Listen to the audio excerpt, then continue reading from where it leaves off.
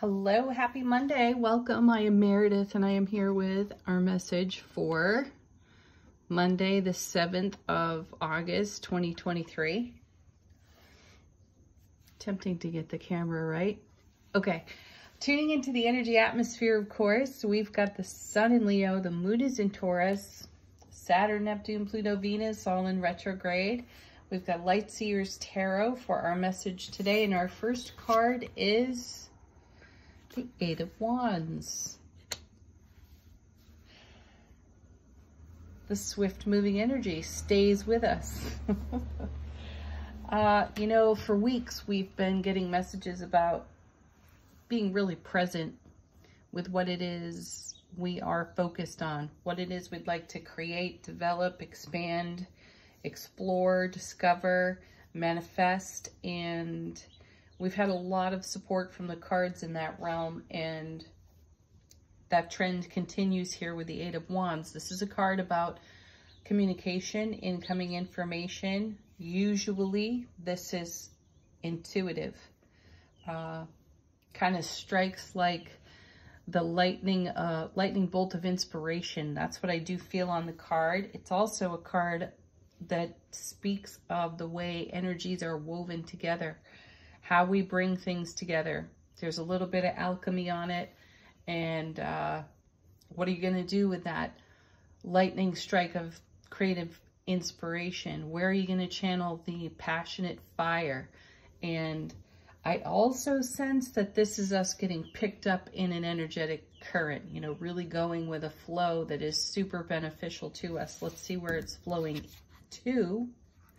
Right into the strength card. Two eights, eight, eight. Eight, eight is tomorrow. The Lionsgate portal uh, is open and it is celebrated tomorrow. We'll do a reading on that.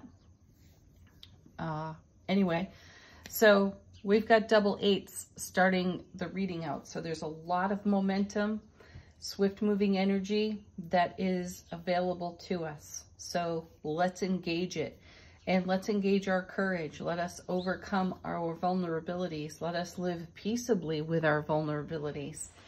If you contemplate it for a moment, you will find perhaps that some of your happiest experiences in hindsight uh, are centered around your courageousness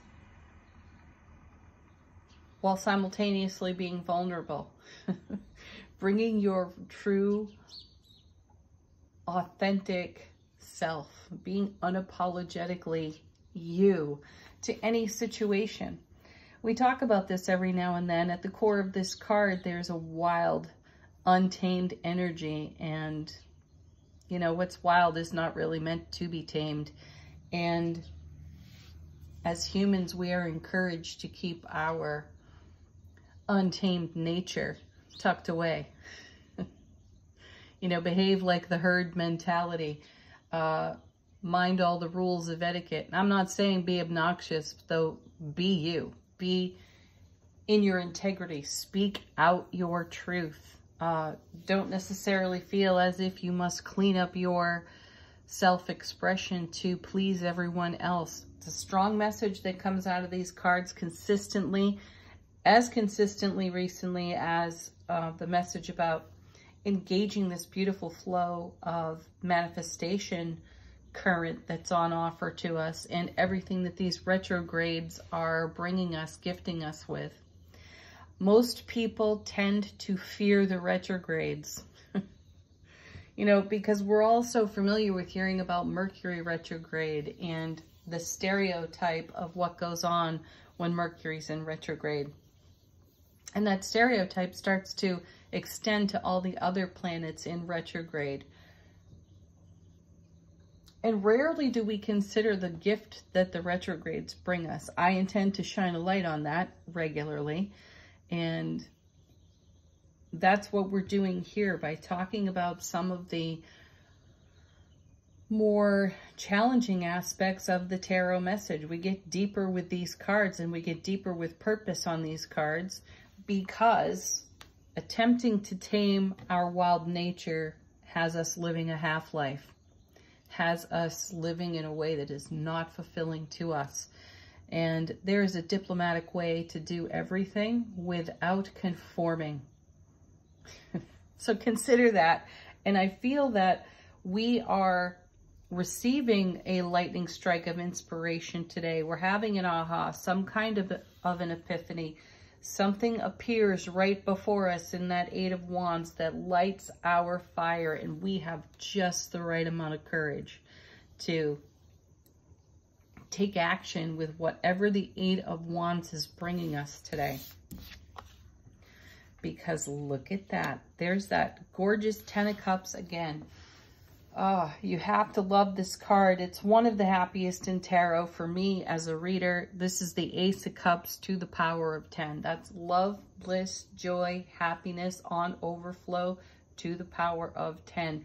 And if that takes a bold or courageous move, if that has us living in a way that we allow our vulnerability to shine, to show unapologetically, and we move swiftly within this current, then we add to the celebration of living our Ten of Cups life experience. This is kind of one of those go for it uh, messages today. And then we have two cards that came out of the shuffle together. And here is quite literally one of the happiest cards in tarot. It's the Four of Wands. So we've got the Four of Wands, the Eight of Wands, which is the double Four of Wands. So celebration and unity here on these cards. We're bringing energy together that ultimately result in the life experience of what the Ten of Cups has to offer. Love, bliss, joy, and happiness. Let's go for that. If you got to bring your wild and untamed nature to it to make it happen, then dig in, get courageous, and do it. And then this is paired with the Queen of Swords. What a gorgeous queen to have in this lineup of cards because she's the no-nonsense queen. She doesn't take any crap. She doesn't really give any crap either. Isn't that wonderful? She is decisive. She is discerning. She takes action without any kind of hesitation. And that's the feeling that I have in this swift moving current of energy coming off this Eight of Wands because we're moving into or deeper into the blessings and the gifts on offer to us. And sometimes that takes great courage to show up for. I'm feeling like a Nike commercial with just do it.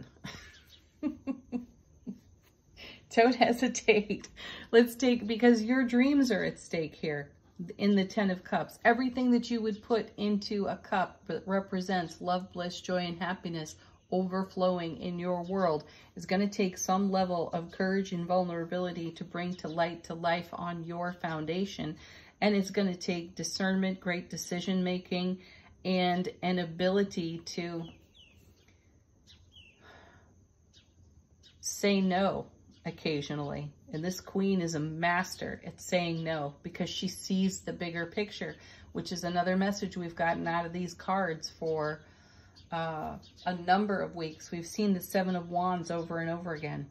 And when we see the bigger picture, there are times where we have to channel our energies in a different way and this is where the no-nonsense attitude of the queen serves us in a great, grounded, centered way. All right, bottom of the deck, what's going on behind the scenes? What is the multiverse doing for our highest and greatest good? Our first card. That's beautiful. Ace of Cups. have to love that that shows up in the reading. I'm feeling uh, the connection here, of course, between the ace and the 10, that runs the suit right there. No court cards, of course, but that's ace to 10. So we are in a progressive energy and a fulfilling kind of energy that requires some of our self-mastery. Look at this. We have the Nine of Wands. We're going the distance. I like seeing this because this is a great confirmation to the Strength card which means that we're going to acknowledge compassionately with loving kindness our vulnerabilities and we're going to dig for our courage and go for whatever it is that is residing in our heart space that results in the Ten of Cups. We'll take this energy all the way. Now we have the eight and the nine of wands, as well as the four. So more progress. That I'm feeling more of that energy here, that we're becoming that unstoppable force. Once we get under the momentum, once we're swept up in it, there's no stopping us. Then we have the Hierophant. Another card of unifying energy. It is a five, so you can anticipate a little bit of challenge, a little bit of conflict, chaos, as, as we navigate the momentum that's being shown to us here in the cards. Though the beauty of a five is its stability. While it creates instability, it opens a door to stability. And this may be an experience that we've been having with ourselves where we've been hesitating, you know, considering our options and maybe dragging our feet a little bit. That's the energy that I feel on that five there with the Hierophant. And we have been garnering our gains, tapping our knowledge and expanding our wisdom so we can take our fulfillment all the way into the Ten of Cups. Next we have the Two of Wands. Yeah, we may have been hesitating with giving ourselves the nudge and the push to step into a whole new realm of a whole new world of experience. That's truly the message on this card. We step through a portal, a gateway, a doorway. Oh, and we're on the eve of the Lion's Gate. So interesting energies here. We may be feeling effervescent on the inside today. Energies may be bubbling up and we might not know exactly where we're channeling them. Though our wild, untamed, free-spirited nature and our courage and our vulnerability is going to take us across whatever threshold awaits us here. Let's see what else is on the bottom of the deck. Magician. Oh my goodness.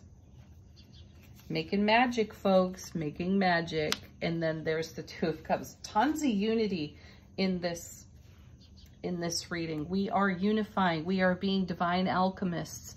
We are creating for ourselves exactly the kind of foundation we wish to thrive upon. And the universal energies are in support. Angel answers. If you have a question, this is the deck for it. Confirmations, synchronicities, serendipities.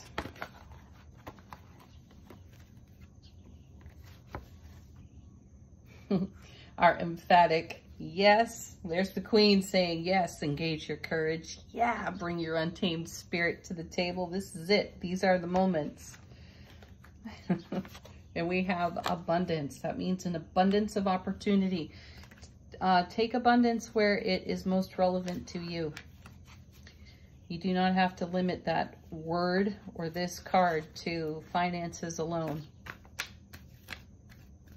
You may have been praying for an abundance of laughter in your world, and here it comes. then we have to let go. I like that. Let go. Go with the flow here. It's a pretty dynamic flow. nice. And don't stop going.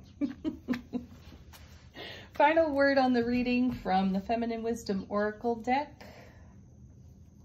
How is our soulful presence informing our waking consciousness?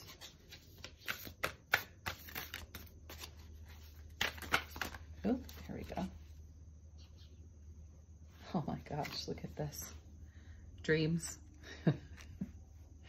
they are coming true. You're seeing it right there on the table and uh, you're being asked to participate in unique ways right now, to trust your courage, to trust your strength, and to trust your wild, untamed nature. Have a beautiful Monday, everyone. Peace, love, happiness, Ten of Cups, Four Wands. Woo! Namaste.